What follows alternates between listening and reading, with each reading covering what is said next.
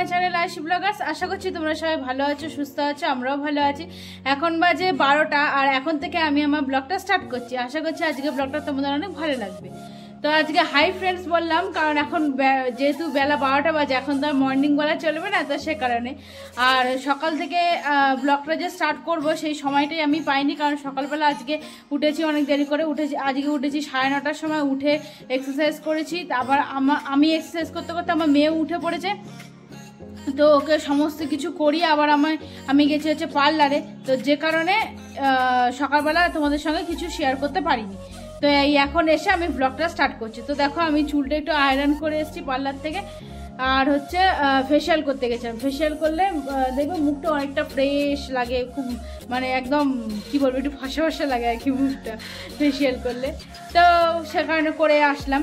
এবার আমি এখন যাব হচ্ছে টিফিন খেতে। টিফিন এখনও করা হয়নি, ওদিকে মাকে টিফিনটা করতে বলেছি, কারণ ফেসিয়াল করলে তো আর উনুনের সামনে যেতে পারব না, রোদেও বেরোতে পারব না, কারণ যে অবশ্য আমাকে রোদ থেকেই আসতে হয়েছে এখন। বিকালে প্রথমে ভেবেছিলাম যাব, তারপর ভাবলাম যে বিকালে তো অনেক কিছু কাজ থাকে, ধর ভিডিও এডিটিং থাকে ভয়েস ওভার দেওয়ার থাকে, তো হয় না, সময়টা আর হয়ে ওঠে না। আর বিকালে না আলিশিও লাগে বাইরে বেরোতে জামা কাপড় পরে। তো যে কারণে আমি এখন করে এসেছি। তো চলো আমি এখন আমার মাকে বলে দেবো, আমার মা আজকে সাম্বার দিয়ে আলু তরকারি করবে, আমিই করতে বলেছিলাম ওটা।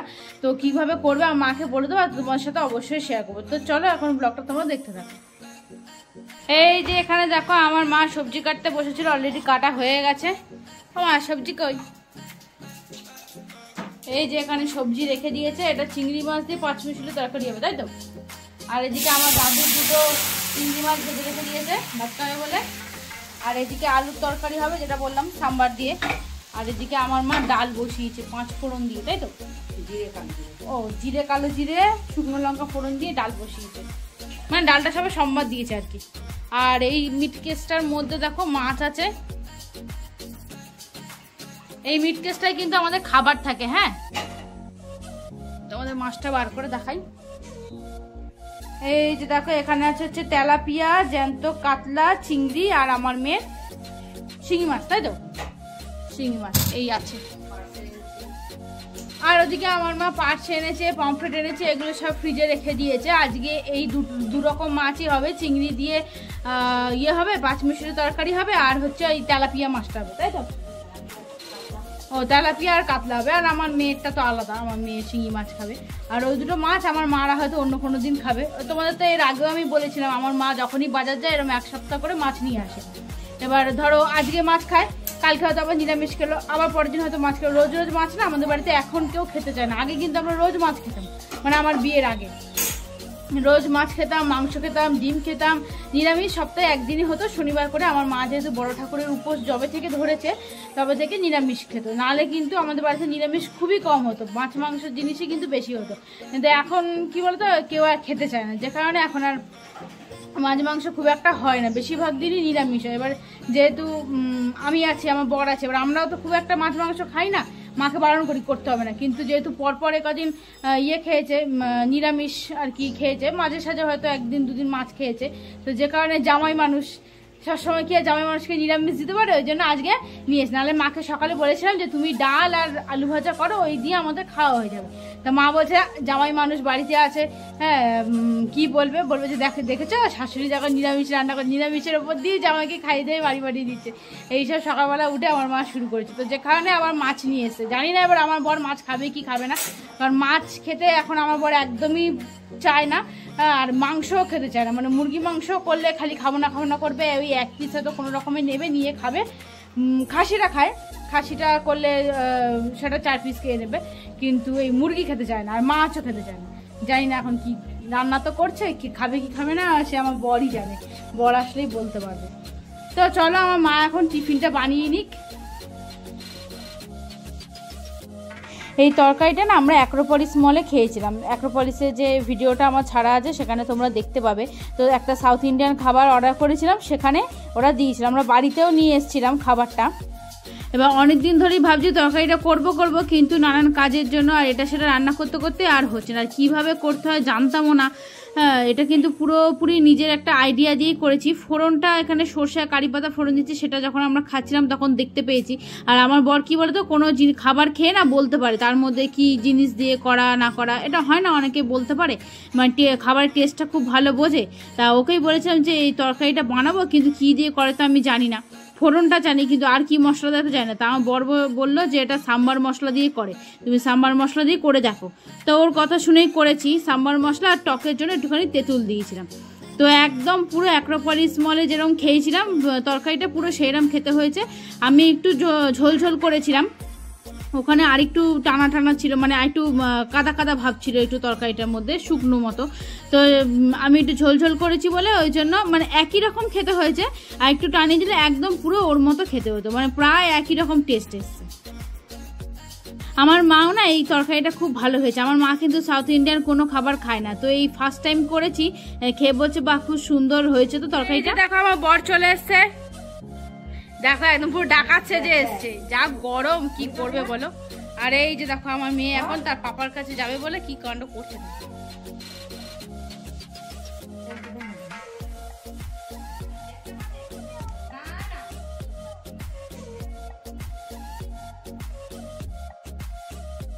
আজকে টিফিনে খেয়েছি হচ্ছে রুটি, ওই আলুর তরকারিটা, সাম্বার দিয়ে, আর আলুর চপ। আগের দিন নিয়ে এসেছিলাম বাজার থেকে, তো সেটা রেখে দিয়েছিলাম আমরা এরকম আলুর চপ আনলে না একটু বেশি করে নিয়ে আসি। পরের দিন দেখবে বাসি আলুর চপটা খেতে কিন্তু খুব ভালো লাগে। আমি না আবার একটু পাতলা আলুর চপ পছন্দ করি। বেশি মোটা আলুর চপ না আমার একদম ভালো লাগে না খেতে। তা আমাদের টিফিন খাওয়া হয়ে গেছে, আর এদিকে আমার মেয়েরও স্নান হয়ে গেছে। এই যে দেখো, আমার মেয়ে এখন বসে ফোন দেখছে। তাও মেয়েটা না ঠান্ডা লেগেছে, কি হয় বলো তো ওই বা- আমাদের বাথরুমে জল থাকে আর গিয়ে জল পুরো ঘাটে ঝপং ঝপং করে জল ঘাটবে আর পুরো জামা কাপড় ভিজিয়ে বাড়ি, ঘরে আসবে। যে কারণে আজকে থেকে দেখছি ওর একটু ঠান্ডা লেগেছে। আর কালকে একটুখানি এসি চালিয়েছিলাম, আর তোমায় তো আগেও বলেছিলাম যে আমাদের মার ঘরটা যেহেতু নিচে এসি চালিয়ে একটু চালিয়ে ঠান্ডা হয়ে যায় ঘরটা। তো অনেকক্ষণই প্রায় চলেছে। আমারও একটু গলাটা হালকা হালকা কালকে ব্যথা হচ্ছিল তার সত্ত্বেও আমি এসি চালিয়েছি। আর মনে হয় কালকে এসি চলেছে আর এরকম এই পরিমাণ জল ঘাটে, যে কারণে বোধহয় ঠান্ডা লেগে গেছে। তো আমার বরকে বলেছি একটা ওষুধ এনে দেওয়ার জন্য, কারণ আমি তো ওষুধ আনিনি এখানে। আমি যখন এসেছি তখন তো আরও ঠান্ডা লাগা ছিল না, এখানে এসে হয়েছে। তো আমার বাড়িতে ওষুধ আছে। আর আমার মেয়ে খায় হচ্ছে লিবোলিন তো এই লিবোলিন এখানে নেই। এখানে ওর এমনি বমির ওষুধ এনেছি আর ওর পটির ওষুধ এনেছি। তো ওইটা আনা হয়নি। তো বরকে বলেছি, ও যখন আমার বাবা বাড়ি আসবে তখন নিয়ে আসবে। আর এখন কটা বাজে দেখো, এখন বাজে একটা চল্লিশ। দেখতে পাচ্ছ? অনেকটা দূরে, দেখতে পাবে না তোমরা। আর এদিকে দেখো, আমার বর এখন বসে ওর ঘুম পেয়ে গেছে। আমার কথা শুনছে আর হাসছে আর ঘুমাচ্ছে। তা বর এখন দোকান চলে যাবে আর তারপরে আমার বাবা আসবে। আর এখন আমি মাকে একটু টুকটাক কাজ করে দেবো, ঘরটা মুছে দেবো, তারপর আমার মা ওদিকে সবজি খোসা টোসা সব রেখে দিয়েছে, সেগুলো একটু গুছিয়ে গাছিয়ে দেবো। তা চলো, তোমরা ব্লগটা দেখতে থাকো। এই সবজি আনাজগুলো না আমার ফেলতে খুব মায়া লাগে। আমি কি করি বলো তো, আমাদের ওখানে একটা বাড়ি আছে মানে আমার শ্বশুরবাড়ির ওখানে একটা বাড়ি আছে, সেখানে গরু আছে। তো আমি ওদেরকে দিয়ে দিই, নিচে রেখে দিই, বাড়ির নিচে রেখে দিই, ওরা নিয়ে চলে যায়। আর এখানে আমার মা ময়লা যেখানে ফেলে সেখানে ফেলে দেয়। আর তবে এবারে এসে শুনলাম যে বলেছে যে বৌদি এরকম সবজি যদি আনাজ থাকে সেটা আলাদা প্লাস্টিক করে রাখবেন, আমরা গবাদি পশুর জন্য নিয়ে যাই। তো শুনে বেশ ভালো লাগল। আর এদিকে দেখো আমার মেয়ের জন্য এখন মুসাম্বি লেবু বার করছে। আর আমার মা অনেক সবজি আনে তো একসাথে, তো মা ফ্রিজটা যেহেতু খুবই ছোট, সব সবজি ধরে না। তো কিছু সবজি ফ্রিজে রাখে আর কিছু সবজি ওই ওরকমভাবে চেয়ারের মধ্যে করে রেখে দেয়। আর এদিকে দেখো আমার মেয়ে সমানে নাক মুছিয়ে যাচ্ছে। কি করবে? ঠান্ডা লেগেছে আর ও ঠান্ডা লাগলেই এরকম সমানে নাক দিয়ে জল পড়ে। তো বায়না করছে বলে আমি এখন ওকে একটুখানি জেমস দিলাম। জেমস খাওয়ার বায়না করছে আর আমার মেয়ে জানো তো স্নান করে উঠে না এরকম জেমস হোক বা কিছু না কিছু ওকে একটু দিতে হয় না হলে চলে না ওর। বায়না করে আর কি খাওয়ার জন্য। আমার মতনই আমিও এরকম ছিলাম। স্নান করে উঠে কিছু না কিছু কি- আমাকে খেতে হতো। তো দেখো আমার বর ঘোল খাবে বলে এক বালতি টক দই নিয়ে এসেছে সেনকা মেট্রো থেকে। এটা কত? দুশো? দু কেজি। ও সরি এটা দু কেজি। দেখেছ? অবস্থা দেখেছ? আমি দেখো এখন একটু নেচে নিচ্ছি। তো আমি এরকমই করি মাঝে মাঝে। ঘরে যদি কোনো গান চলে তো সেই গানের তালে তালে একটু নেচে নিই। আর আজকে দুপুরে মা মাছ চাটনি এদিকে চিংড়ি মাছ দিয়ে পাঁচমিশালি তরকারি, ডাল, এইটাই রান্না, এইটুকুনি রান্না করেছি। আজকে বেশি কিছু রান্না হয়নি। আর এদিকে আছে আমার মাদের ভাত। তো স্নান করে আমি এখন আয়নার সামনে চলে এসেছি মাথা আজরানোর জন্য। আর দেখো আমার চুলটা না একটু বেঁকে বেঁকে গেছে। স্ট্রেট করা, কিন্তু স্ট্রেটটা না ভালো মতো হয়নি। কি বলতো? আমার চুলে যেহেতু কালার আছে না যে কারণে হয়নি ভালোভাবে স্ট্রেট তো ওই দিদি বলেছে আমাকে আবার জুন মাসের দিকে আরেকবার করিয়ে দেবে স্মুথনিং করিয়ে দেবে।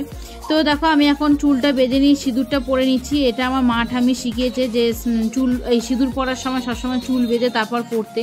আর এখানে আমি এখন মার কানের দুলটা পরে নিচ্ছি। এটা আমার মা ছুঁচ কানের দুল তো এই কানের দুল আমারও একটা আছে। তো আমি তো আর কানের দুল আনিনি এখানে, যে কারণে আমার মারটাই পরে নিচ্ছি। তো সমস্ত কিছু করে আমি এখন বসে গেছি নেল পলিশ পরতে। আগে নেল পলিশটা তুলে নিচ্ছি। আর গ্লিটার নেল পলিশ কী বলো তো সহজে না উঠতে চায় না। অনেকক্ষণ ঘষে ঘষে তারপর তুলতে হয়। আর ওখানে তো মানে বাড়িতে তো আমি নেল পড়ার সুযোগই পাই না, কারণ তোমরা তো দেখতেই পাও, আমার মেয়ে ঘুমিয়ে পড়লেও আমার আরও কত কাজ থাকে। তারপর ওই কাজ করতে করতে আমার ওইদিকে আমার বড় চলে আসে, খাওয়ার সময় হয়ে যায়। আর কখন পড়বে আর সন্ধেবেলা তো হয় না, সন্ধেবেলা আমার মেয়ে জেগে থাকে। জেগে থাকলে ও তো নেপালিশ পড়তেই দেবে না মানে আমাকে আর পড়তে দেবে না, ওকেই পড়িয়ে দিতে হবে নেপালিশ। যত মানে যে কটা বার করব, সব কটা ওকে আগে পরিয়ে দিতে হবে।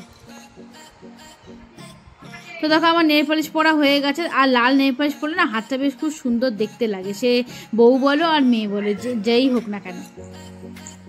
গুড ইভিনিং ফ্রেন্ড এখন মাঝে সন্ধে আটটা, আর আমরা এখন চা খেতে বসেছি। অলরেডি চা আমাদের খাওয়া হয়েও গেছে। আর এদিকে দেখো আমার মা দিদার সাথে কথা বলছে, আমার দিদা ভিডিও কল করেছে। এই যে দেখো, এই যে দেখো আমার দিদা ভিডিও কল করেছে।